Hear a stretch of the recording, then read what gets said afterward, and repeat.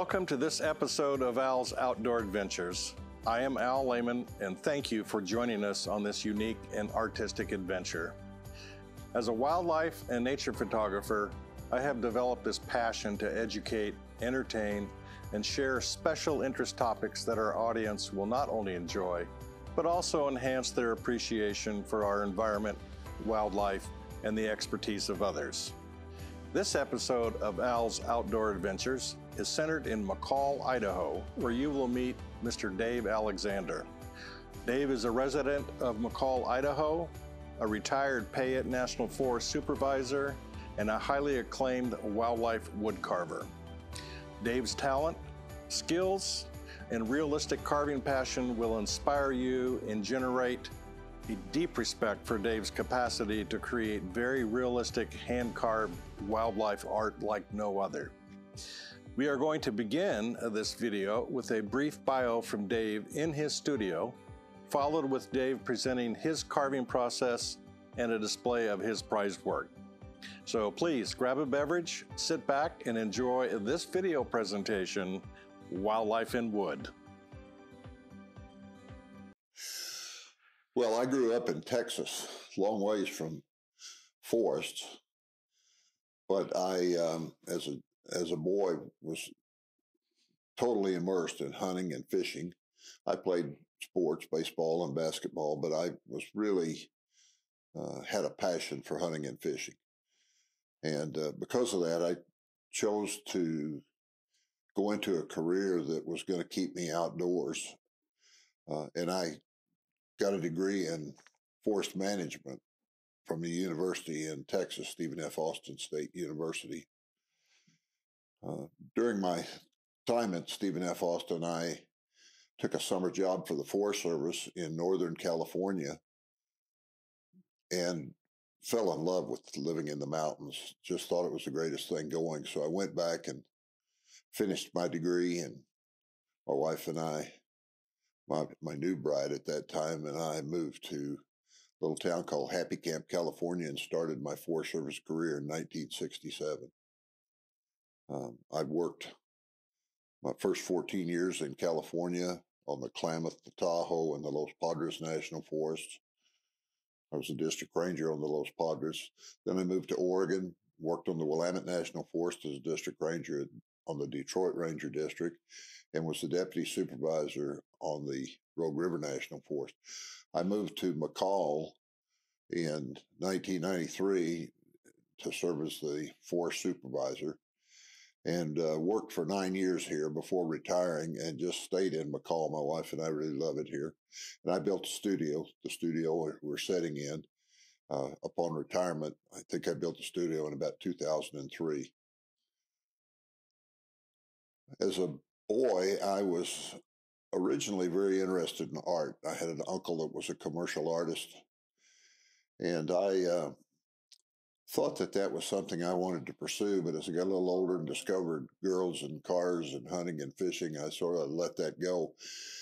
But uh, when my wife and I bought our first home in Grass Valley, California, had a fireplace with a mantle, and I was an avid waterfowl hunter and had been uh, for many years, and I decided that I needed to have some decoys for that mantle, and I wasn't able to really find any decoys that I liked, especially at the prices that I could afford.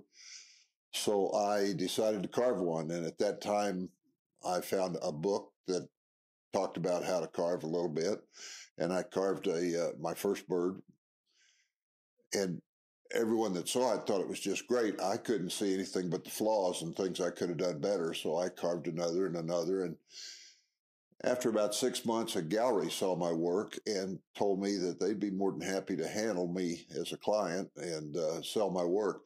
And that started it in about the mid 1970s, and I've been at it ever since. When I plan and carry out a carving, it's really in three phases. And each phase is about an equal amount of time and effort. The first phase is the phase of doing reference work. Uh, the people who buy my carvings are not looking for something that approximates a bird. They want real exact carvings. So This, for instance, it represents a carving that I'm planning to do soon, and that's an American, a female American kestrel. Um, this is folders of photographs. Now, kestrels are uh, birds of prey, and they're you you can't have kestrel skins or so on. So I, I take extensive collections of photographs out of magazines and so on. I do my own photography, and these are some of my photos of a kestrel. This is a pile of books with good kestrel information in it. I've been an avid wildlife photographer most of my life, and I travel extensively doing wildlife photography, particularly bird photography. So I use my own photos as well as information I glean from books and and go to museums and do measurements to get reference.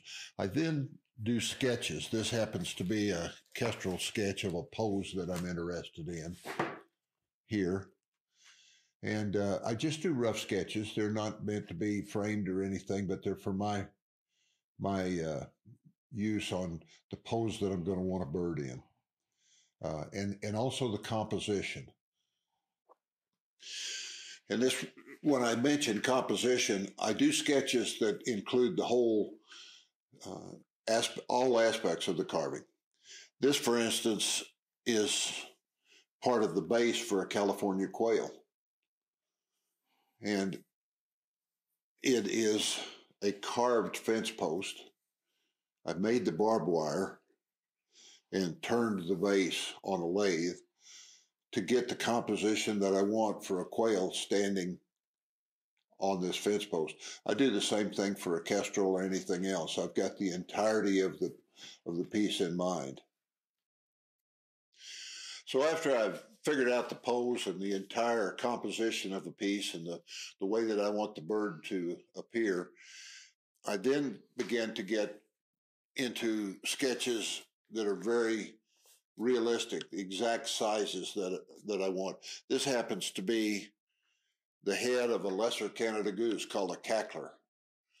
And I've measured the bill. I've got the eye placement. I'm, I'm doing a lot of exact drawings. Here is a drawing of the body. This is for a cackler decoy that was bought by a client in Canada. And I have the profile view and the plan view, and I'm working that out so that I'm translating that to a pattern. Once I've got the pattern figured out and I've done all the drawings, the next thing I do is transform that into a actual pattern to lay out on the wood. This happens to be a somewhat oversized mallard for a commercial decoy company. And here's the plan view and the profile view that I can then lay out on a larger piece of wood, obviously, and trace the bird onto the wood. I then cut that out on a bandsaw. And again, I'm switching species on you. But on the bandsaw, this is what I start with as a pattern. I've gone from the square block of wood through the drawings, gotten the exact sizes I want. And this is a hen pintail uh, that I've cut out on the bandsaw. You can see that it's very rough. And the reason the head of this pintail is separate from the rest of the block is that the grain on this block is running long ways. And I'm going to have this pintail with its head turned. And the grain would be running across the bill and be quite weak and fragile. So I cut the head out separately, glue it on, and then carve it as one piece. So here's the rough cut, straight off the bandsaw head of a hen pintail. Here's that head partially carved. You can see the knife marks on it. where I'm rounding it up, getting the bill to be the size and shape that I want it. And then here is a finished head with the eye hole drilled for me to put a glass eye in. I've carved the bill to the exact dimensions. And this is this would be a, a, a fairly well completed head. I can show you on a mallard what a completed head looks like. This is a oversized mallard. It's being carved for a decoy company, and they want their decoys to be a little bit oversized. So this is a mallard head with the eyes installed, the bill finished carved. The next step would be to start to carve feathers and to texture the head to make it look very realistic. So as I've shown you, this is what I start with on the on a head carving. Um, coming right off the bandsaw. Obviously, the bill is way too wide. I've got wood to lose.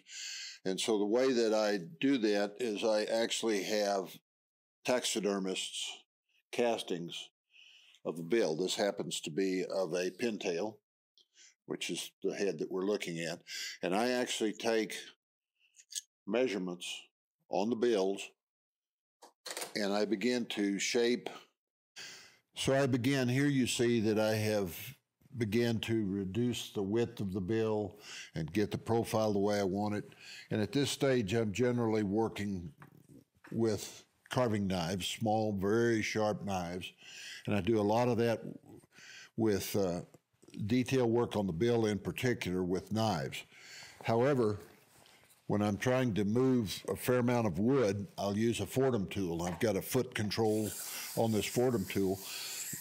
Very importantly, I have a dust catcher right here that I turn on so that as I'm working right here, the dust is taken away. And I also usually wear a mask.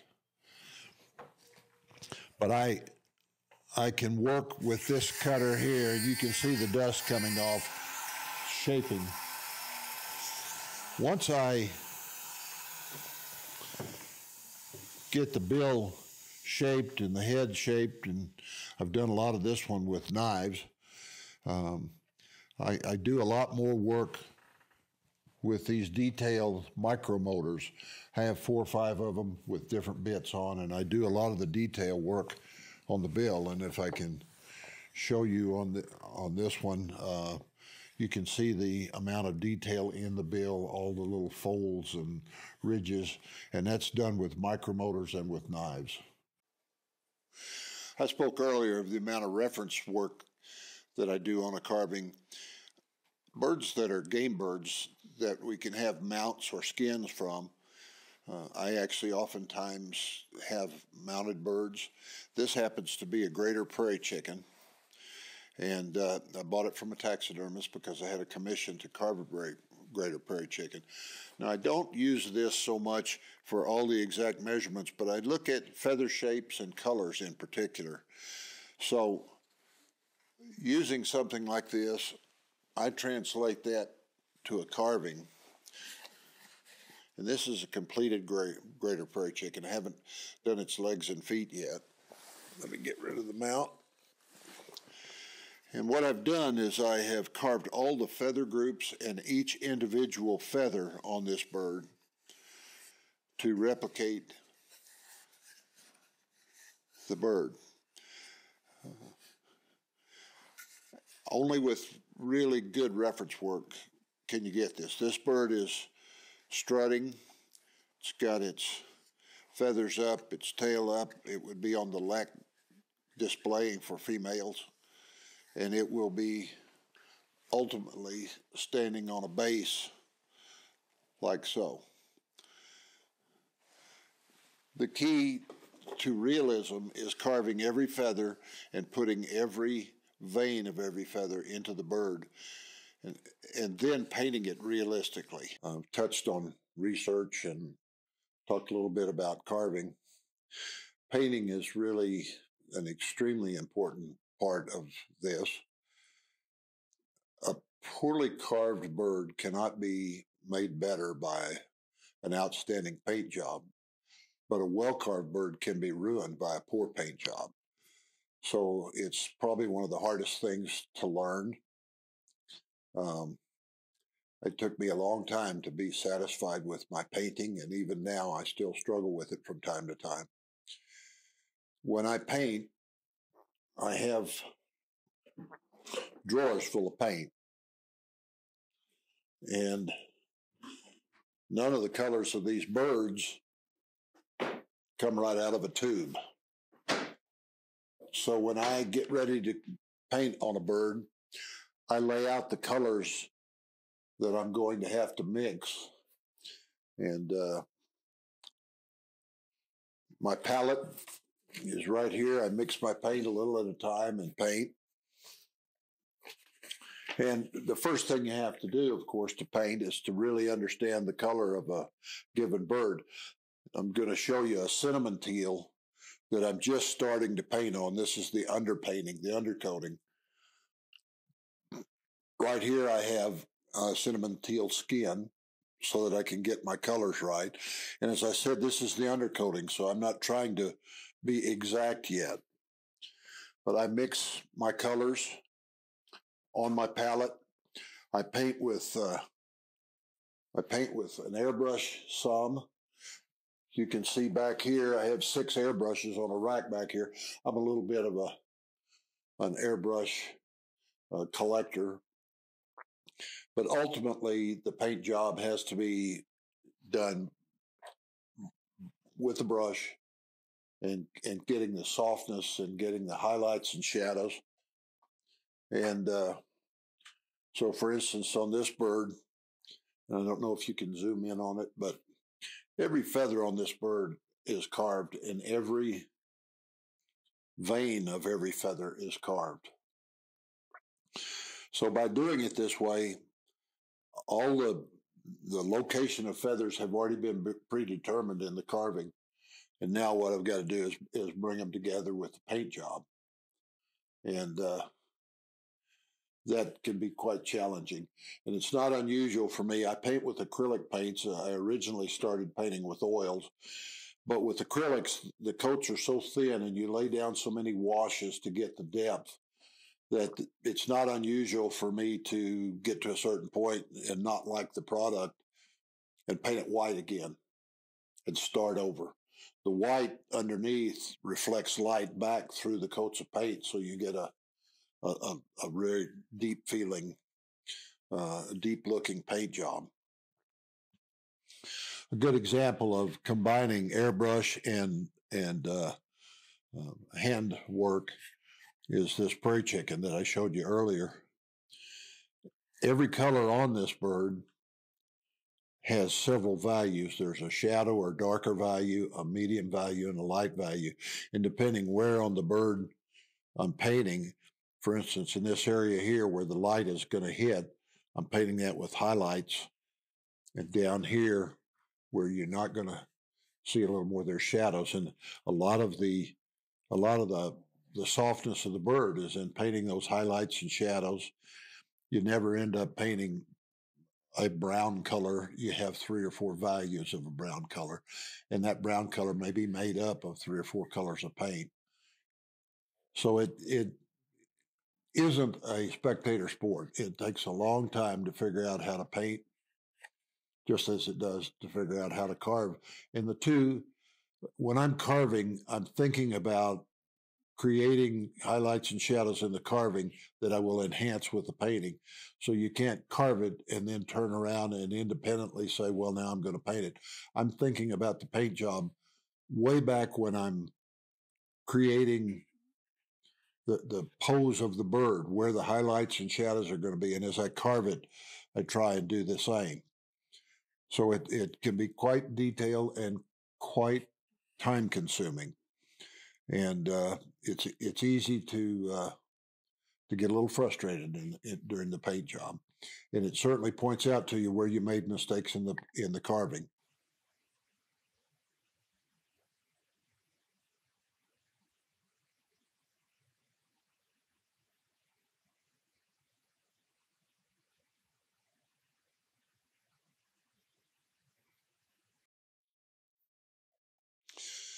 Al, I really love birds of prey and I love carving them. I love making trips to photograph them.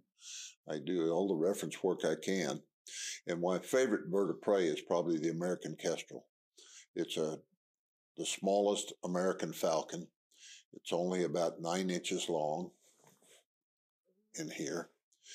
And uh, I've carved many kestrels. This one in particular is one of my favorites because I tried to portray the bird just taking off of a dead lodgepole pine limb. So the uh, I talked earlier about composition, and in this case, I tried to build and carve a lodgepole pine limb that leads your eye up, and wings that lead your eye this way, so that you focus on the eye of the bird. Um, the American kestrel is a beautiful bird, and, and they're found throughout the country. Most people don't even know what they're seeing, but they eat primarily insects, a few small mice and things like that, but but insects are their primary th- thing. And uh, so I'm going to just turn it here a little bit so you can see the view. I want this bird to appear to just be jumping off the limb and into flight, just about to make its first downstroke with its wings. To get the feeling that it's flying, I made the feet out of bronze and built them up into the bird. And then this branch is also bronze. And it goes down and is embedded in the carved limb. I, I made the dead bark from this pine out of uh, metal. And uh, I tried to further enhance the composition by using leopard wood, which is a South American wood with these spots. And I wanted you to kind of pick up on the spots under the wings and kind of try and unify. So these are really, really colorful birds. Uh, as I said, they're my favorite.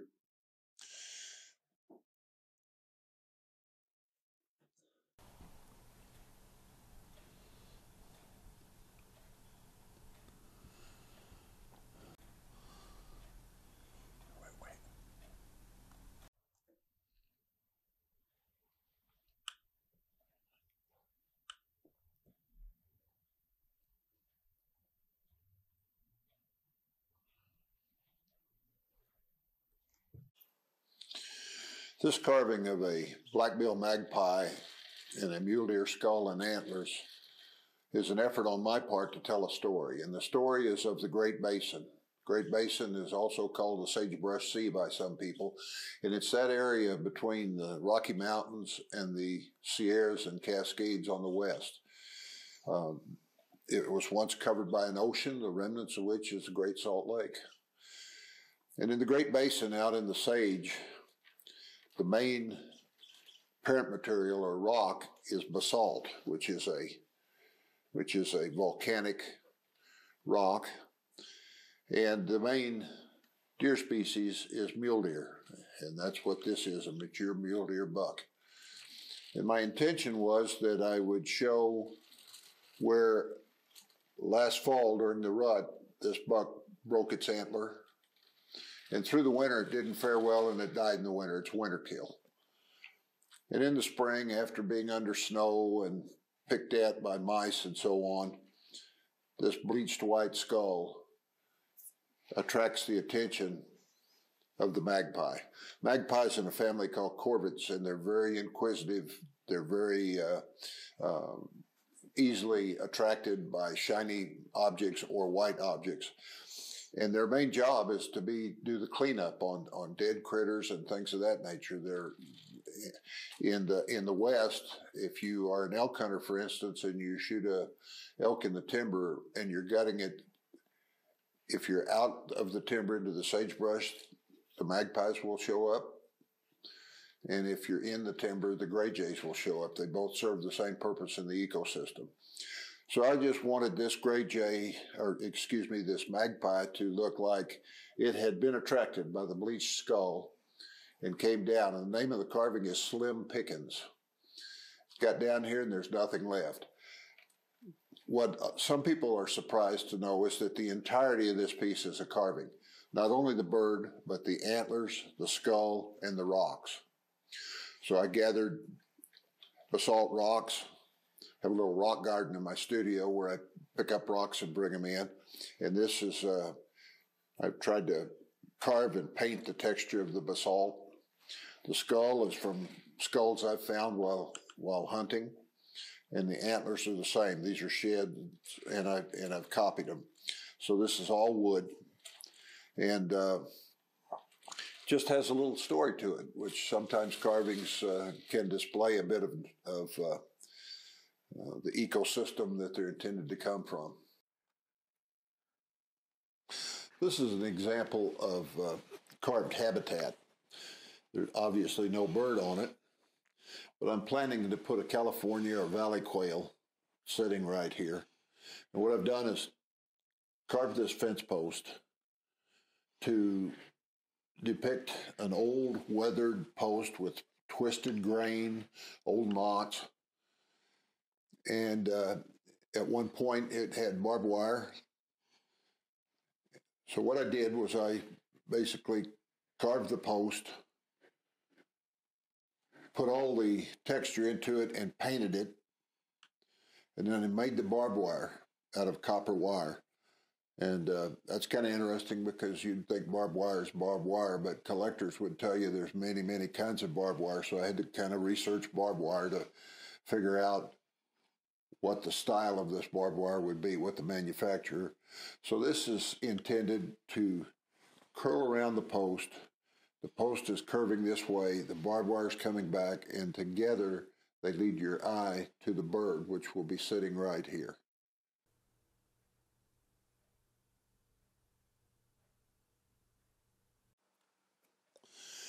This carving is a uh, female belted kingfisher Belted kingfishers are very common in the valley in my part of Idaho. They're very vocal birds and they perch, uh, they're fish eaters and they perch right in the uh, branches along streams and then dive down and pick up fish.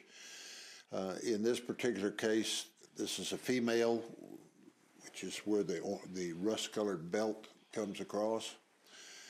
And I wanted to portray this bird standing or, or perched on a dead lodgepole pine branch right along the edge of a stream.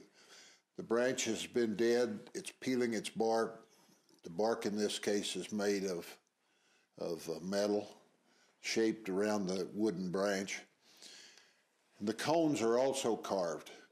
And in lodgepole pine, when a tree dies, the, those cones that are on it persist for a long time. They don't just fall off. So this is portraying the old dead cones in various stages of opening and and uh, it's a very common sight. If you fly fish or raft in our rivers, you see these belted kingfishers quite frequently. Uh, you hear them as they fly along fishing. So uh, I've I've been attracted to them for a long time, and I just thought I would. Uh, I've, I've, carved several of them, but this is one that uh, the the most recent of my carvings.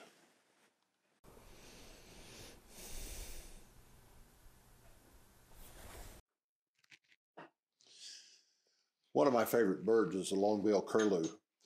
I make an annual birding trip over into the Malheur Basin and the refuge in the, in the surrounding areas around Burns, Oregon every year, and uh, just photographing birds. And one of the birds that we see in the fields, they grazing in flocks, are, are long-billed curlews. Um, they are really picturesque birds, but very soft looking. Now, this bird um, is what I call a gunning bird, in that not all of the feathers are carved. It's actually a smooth bird. All the detail you see is in the paint job. And so uh, it's much easier for me to uh, to make the bird without having to carve all the feathers. But more importantly, when I carve all the feathers, I must paint them just as I carved them. Whereas on this, I could treat this bird as like a canvas and lay out the feathers and paint them. And so it, it has a much different look to it. Um, it's still got all the detail in, in a normal paint job, but it just doesn't have the carved feathers. And I kind of enjoy doing these gunning birds. So, what do you mean, Dave, by a gunning bird? Well, I carve several grades of birds in, in a decoy, and I'll explain that as, as I show them to you. But the fancy ones with all the feathers carved in every vein is called a decorative. The next level below it, which is a smooth bird but with a fancy paint job, is a gunning bird. And then I carve a, uh, uh, for hunters on occasion, I carve actual hunting duck decoys, which is the, the lowest grade that I do.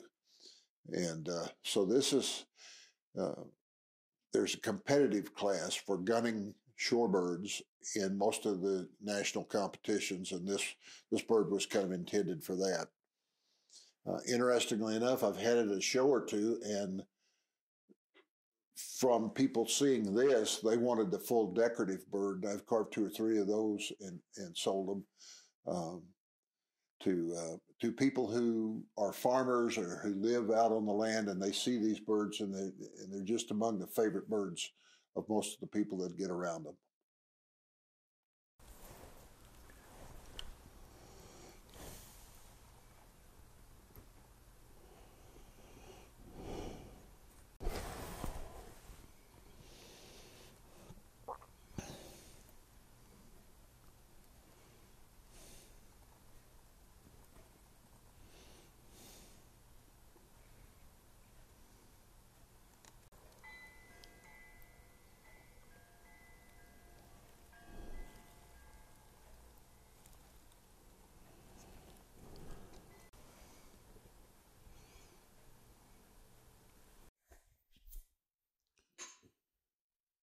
Thought I'd show you a few decoys. I got my start as a carver carving decoys. Uh, I was an avid and am a avid waterfowl hunter. And so I began to explore carving with decoys. And since then, I do a lot more of the decorative carvings of uh, full birds in their habitat, but I still carve decoys. And I have different grades of decoys that I carve, and they have to do with the competition. This bird here, Drake Pintail, is a decorative decoy.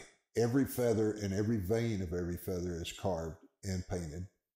All the detail, very thin wing, wing tips, fine tips on the tails. It's all done for ultimate in realism. The bird is actually hollow and it floats perfectly on the water. It's weighted to float on the water. And traditionally, decoys are judged on the water in a tank at a competition. So this is a, a uh, decorative decoy. It is the ultimate in realism. But I also carve what I call gunning decoys. And this example, this hen mallard is an example of that. This bird has not got every feather carved. All the detail is just in paint on a smooth bird. It also is hollow and it is entered in competition, but it has a keel.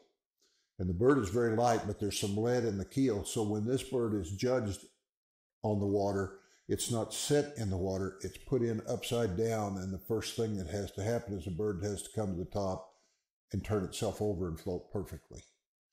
Just as this bird had to float perfectly, this one has the added uh, business of self righting. So traditionally, I leave the keels from competition on them, uh, on, on the gunning birds.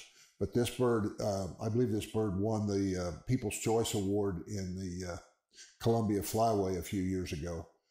And uh, so I, I really love doing these gunning birds. And one of the birds that is very common here breeding is cinnamon teal.